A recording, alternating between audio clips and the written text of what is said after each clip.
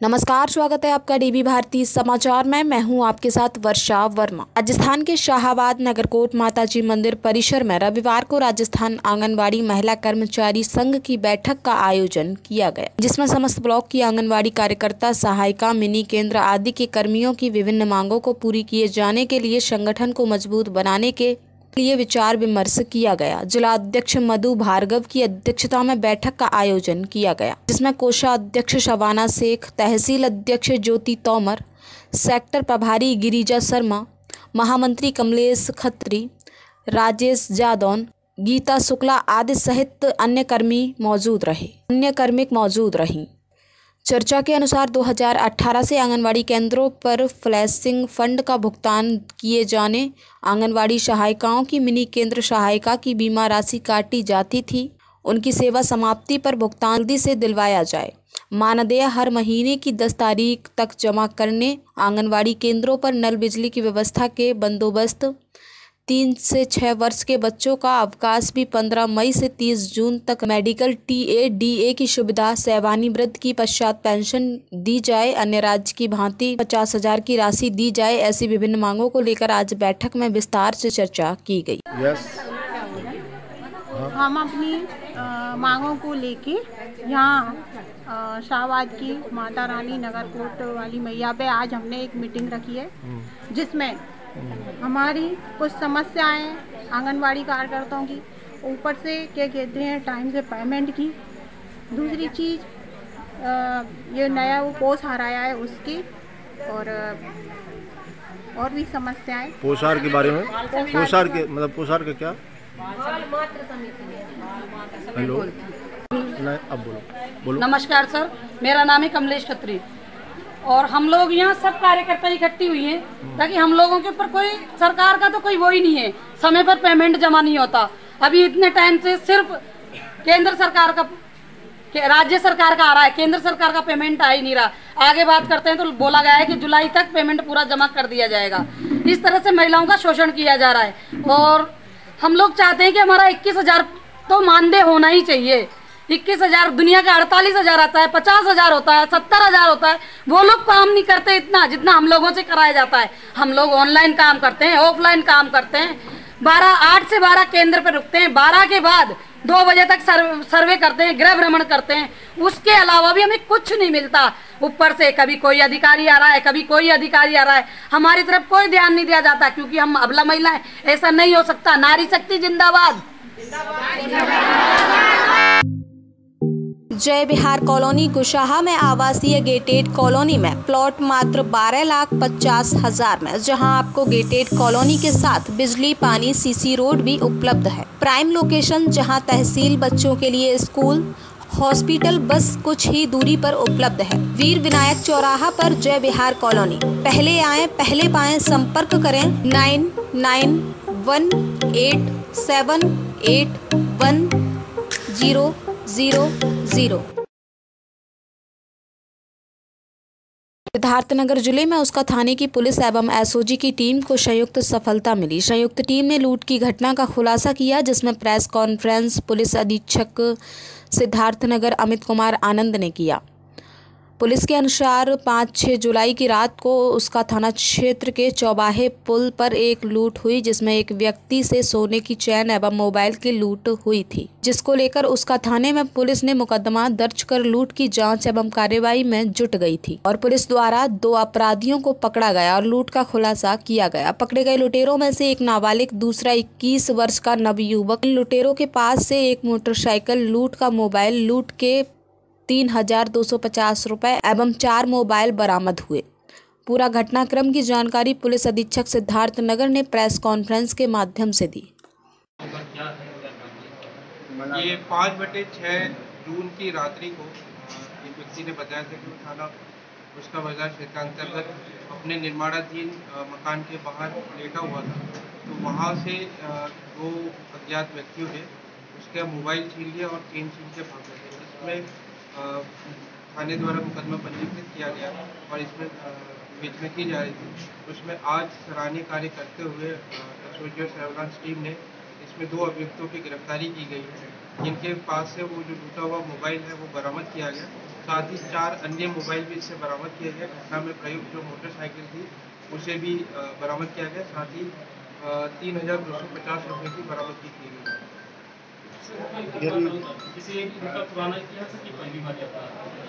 इसमें अभी जानकारी की जा रही है कि इनके अन्य आपराधिक इतिहास के बारे में अभी तक अन्य अपराध के बारे में जानकारी नहीं है। इसमें विवेचना प्रचलित है जो भी तथ्य आएँगे उसके अनुसार विधि कार्रवाई की जाएगी।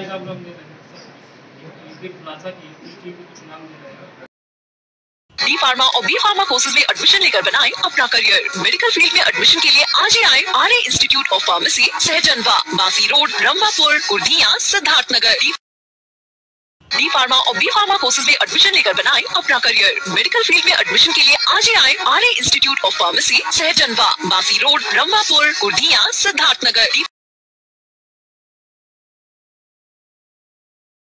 D pharma और बी फार्मा कोर्सेज में एडमिशन लेकर बनाए अपना करियर मेडिकल फ़ील्ड में एडमिशन के लिए आज ही आए R institute of pharmacy Sahjanwa, Basi road, Rambapur Kurdiya Siddharth Nagar D pharma और बी फार्मा कोर्सेज में एडमिशन लेकर बनाए अपना करियर मेडिकल फ़ील्ड में एडमिशन के लिए आज ही आए R institute of pharmacy Sahjanwa, Basi road, Rambapur Kurdiya Siddharth Uttar Pradesh के जनपद कासगंज के थाना गंज डुड़वाड़ा पुलिस ने एक चोर को गिरफ़्तार किया है जिससे तीन चोरी की मोटरसाइकिल बरामद की है। गंज डुड़वाड़ा पुलिस को मुखबिर की सूचना मिली एक चोर चोरी की मोटरसाइकिल बेचने के फिराक में है। तभी मुखबिर के बताए स्थान पर पहुँची पुलिस ने एक चोर राजेश को गिरफ़्तार किया जिसके कब्जे से तीन मोटरसाइकिलें बरामद की हैं। है। एक वाहन चोर पकड़ा गया है राजेश पुत्र भोलानाथ धवा गाँव थाना गंज गुरुद्वारा का। तो ये गाँव से और अपने बाज़ारों में ही मोटरसाइकिल चोरी करता था। तो इसकी एक मोटरसाइकिल गाँव से चोरी किया, उसका मुकदमा गंज गुरुद्वारा पे लिखा था। वो बरामद हुई, साथ में दो मोटरसाइकिल और बरामद हुई है, जिसको अभी लिंक नहीं हुई है, कहाँ कहाँ चोरी किया है, पूछताछ करके इससे कार्रवाई की जा रही है। क्योंकि तो वाहन चोर है और तीन मोटरसाइकिल बरामद हुई है। उन्होंने एक अच्छा गुड वर्क किया, इंस्पेक्टर गंज गुरुद्वारा और गंज गुरुद्वारा के इंस्पेक्टर क्राइम है, एक शर्मा जी। इसीलिए आज ये प्रेस कॉन्फ्रेंस बुलाई गई थी आप लोगों को बताने के यूपी के जनपद कासगंज में एक ऐसा मामला सामने आया है, जहाँ एक पुलिसकर्मी की पत्नी ने बिन माँ बाप के दलित बच्चे एवं परिवार के साथ मारपीट कर डाली और रिपोर्ट भी उन्हीं के खिलाफ करा दी। दरअसल मामला थाना सदर क्षेत्र दुर्गा कॉलोनी का है, जहाँ पुलिस अधीक्षक के कार्यालय में तैनात पेश पेशी हेड संजीव दुर्गा कॉलोनी गली नंबर दो में किराए पर रहते हैं। उनकी पत्नी सुम्मो सिंह ने बीते दो दिन पूर्व दलित परिवार की मारपीट कर डाली। जब दलित परिवार थाने पहुँचा तो पुलिस ने हड़का कर भगा दिया और पेशी हेड के पत्नी की तहरीर लेकर गंभीर धाराओं में मुकदमा दर्ज कर दिया। और यहाँ तक कि पीड़ित परिवार के खिलाफ ही नहीं, बल्कि बचाने वालों के खिलाफ भी मुकदमा लिखा दिया गया। पेशी हेड संजीव की पत्नी पूर्व में भी चर्चित रही हैं। उन्होंने निरीक्षक इंदु वर्मा के साथ भी अभद्रता की थी। पूरे कॉलोनी में महिला व पेशी हेड के कारनामे से लोग परेशान हैं। पीड़ित परिवार की माने तो पेशी हेड संजीव पीड़ित परिवार को एनकाउंटर कराने की भी धमकी दे रहा है। अब देखने वाली बात ये होगी कि कासगंज कप्तान उक्त दलित परिवार को न्याय देंगे या परम कृपा बनाए रखेंगे। क्या नाम है आपका? ज्योति दिवाकर। ज्योति आपके परिवार के साथ घटना हुई है क्या घटना हमारे परिवार के साथ एक पुलिस वाले की वाइफ है, जो कि उसने हमारे घर में आके मारपीट की है और उसका जो हस्बैंड है, वो कप्तान साहब के पास रहता है और उसने हमारे घर पे आके बहुत ज़्यादा मारपीट की है और कोत वाली हमारी कोई सुनवाई नहीं है और हमारी जाति के साथ बहुत ज़्यादा गाली वाली दी है और हमारी कोई सुनवाई नहीं है और हम घर पे जाते हैं, घर पे से घर से बेघर कर दिया और जो भी हमारा साथ दे रहा है, उसमें भी उसने मतलब उनको भी खिलाफ मुकदमा कर दिया है उसने। और और हमारे माँ बाप नहीं हैं और हम बताओ क्या करें। कोई कोतवाली में हमारी कोई सुनवाई नहीं है। किसी अधिकारी के पास कहीं? अधिकारी के पास गए कोई सुनवाई नहीं है हमारी कहीं पे क्योंकि उसका हस्बैंड वो एसपी के पास बैठता है इसीलिए कोई सुनवाई नहीं हो रही हमारी। डी फार्मा और बी फार्मा कोर्सेज में एडमिशन लेकर बनाएँ अपना करियर मेडिकल फ़ील्ड में एडमिशन के लिए आज ही आए R institute of pharmacy Sahjanwa Basi road Rambapur Kurdiya Siddharth Nagar. D pharma और बी फार्मा कोर्सेज में एडमिशन लेकर बनाए अपना करियर मेडिकल फ़ील्ड में एडमिशन के लिए आज ही आए R institute of pharmacy Sahjanwa, Basi road Rambapur Kurdiya Siddharth Nagar D pharma और बी फार्मा कोर्सेज में एडमिशन लेकर बनाए अपना करियर मेडिकल फ़ील्ड में एडमिशन के लिए आज ही आए R institute of pharmacy Sahjanwa, Basi road Rambapur Kurdiya Siddharth D pharma और बी फार्मा कोर्सेज में एडमिशन लेकर बनाए अपना करियर मेडिकल फ़ील्ड में एडमिशन के लिए आज ही आए R institute of pharmacy Sahjanwa, Basi road Ramwapur Kurdiya Siddharth Nagar जनपद बलरामपुर में 1 जुलाई 2022 से संचालित विशेष संचारी रोग नियंत्रण अभियान एवं दस्तक अभियान की अंतर्विभागीय समीक्षा बैठक जिलाधिकारी श्रीमती श्रुति की अध्यक्षता में संपन्न हुई। बैठक में जिलाधिकारी द्वारा अभियान के अंतर्गत गतिविधियों की समीक्षा की गई। जिलाधिकारी ने कहा कि विशेष संचारी रोग नियंत्रण अभियान एवं दस्तक अभियान के तहत सभी स्वास्थ्य कर्मियों द्वारा शत प्रति शत प्रतिशत होम विज़िट एवं स्टिकर पेंस्टिंग किया जाए, जिसमें किसी प्रकार की लापरवाही न बरती जाए। डी डीपीआरओ को ग्रामीण क्षेत्रों में विशेष साफ़ सफ़ाई अभियान चलाए जाने का निर्देश दिया।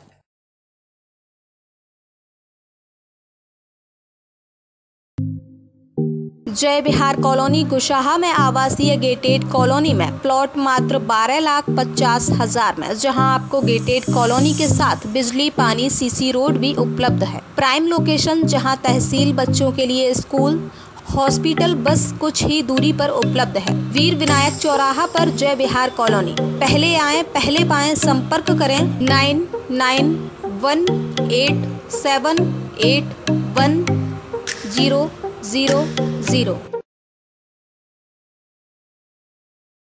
Uttar Pradesh के जनपद बलरामपुर में न्यायाधीश अध्यक्ष जिला विद्युत सेवा प्राधिकरण लल्लू सिंह के निर्देशन में क्रम में जिला विद्युत सेवा प्राधिकरण एवं तहसील विद्युत सेवा समितियों नामित सभी पीएलवी को राष्ट्रीय लोक अदालत के व्यापक प्रचार प्रसार हेतु मीटिंग की गई एवं माध्य, एवं मध्यस्थता केंद्र बलरामपुर में आए हुए वादकारियों हेतु विद्युत साक्षरता जागरूकता शिविर का आयोजन किया गया।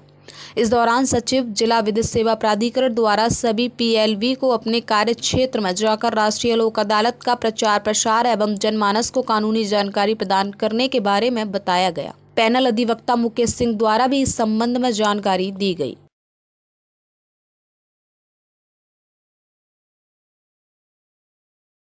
डी फार्मा और बी फार्मा कोर्सेज में एडमिशन लेकर बनाए अपना करियर मेडिकल फ़ील्ड में एडमिशन के लिए आज ही आए R institute of pharmacy Sahjanwa, Basi road Ramwapur Kurdiya Siddharth Nagar D pharma और बी फार्मा कोर्सेज में एडमिशन लेकर बनाए अपना करियर मेडिकल फ़ील्ड में एडमिशन के लिए आज ही आए R institute of pharmacy Sahjanwa, Basi road Ramwapur Kurdiya Siddharth Nagar D pharma और बी फार्मा कोर्सेज में एडमिशन लेकर बनाए अपना करियर मेडिकल फ़ील्ड में एडमिशन के लिए आज ही आए R institute of pharmacy Sahjanwa, Basi road Ramwapur Kurdiya Siddharth Nagar D pharma और बी फार्मा कोर्सेज में एडमिशन लेकर बनाए अपना करियर मेडिकल फ़ील्ड में एडमिशन के लिए आज ही आए R institute of pharmacy Sahjanwa, Basi road Ramwapur Kurdiya Siddharth Ayodhya के फैजाबाद बार एसोसिएशन की चुनाव की प्रक्रिया शुक्रवार से शुरू हो गई। फैजाबाद बार एसोसिएशन के रिटर्निंग ऑफिसर एवं निवर्तमान अध्यक्ष सुशील कुमार चौबे और एल्डर्स कमेटी के चेयरमैन श्रवण कुमार मिश्रा से मिली जानकारी के अनुसार 18 जुलाई तक नामांकन प्रक्रिया चलती रहेगी और आगामी 19 जुलाई को नामांकन पत्रों की जाँच होगी। इसके बाद 20 जुलाई को पर्चा वापसी की प्रक्रिया संपन्न कराई जाएगी और आगामी 28 जुलाई को मतदान प्रक्रिया कड़ी सुरक्षा व्यवस्था के बीच सम्पन्न होगी। इसके बाद उनतीस जुलाई को परिणाम आने के बाद कई कार्यकारिणी का गठन होगा। वहीं नामांकन के अंतिम दिन संयुक्त मंत्री विवेक कुमार श्रीवास्तव ने भी नामांकन किया और बताएँ कि संयुक्त मंत्री का पद बहुत ज़िम्मेदारी का पद है। अगर जीत हासिल तो पुस्तकालय का प्रभार दिया जाता। और हमारा पुस्तकालय, आदर्श पुस्तकालय बने। वहीं बार एसोसिएशन के कार्यकारिणी के लिए रामकिशोर यादव ने नामांकन किया और कहा कि मेरी प्रथम वरीयता अधिवक्ता साथियों के सम्मान के लिए होगी। बार एसोसिएशन अयोध्या में कार्यकारिणी पद बी के लिए नामांकन किया है। ये चुनाव वर्ष 2022-23 के लिए है। मेरी प्रथम वरीयता मेरे अधिवक्ता साथियों की सम्मान की होगी, जो मेरे लायक कार्य दिया जाएगा, मैं उसको निर्वहन करूँगा सत्य निष्ठा से। और सबसे ज़्यादा जो व्यवस्था यहाँ बदहाल है, वादकारियों के लिए लघु शंका दीर्घ शंका इसके लिए सबसे पूरी कचहरी में कहीं कोई व्यवस्था नहीं है जिसमें यदि मैं विजयी हुआ तो अध्यक्ष जी के माध्यम से सफल बनाने का प्रयास करूँगा। अधिवक्ता भाइयों से मेरा निवेदन है कि मुझे अधिक से अधिक मतों से विजयी बनाए। राम किशोर यादव। 2022-23 मैं मैं अध्यक्ष पद के प्रत्याशी हूँ भैया। और ये चुनाव प्रचार बड़े हर प्रत्याशियों की तरफ़ से धुआंधार हो रहा है और सब ज़ोर लगाए हुए हैं। देखिए क्या होता है। ये अधिवक्ताओं का हित सर पर ही रहेगा क्या भाइयों, मैं ये निवेदन कर रहा हूँ कि हमको अपना बहुमूल्य वोट देकर भारी मतों विजयी बनाओ। इन प्रताप सिंह लल्ला।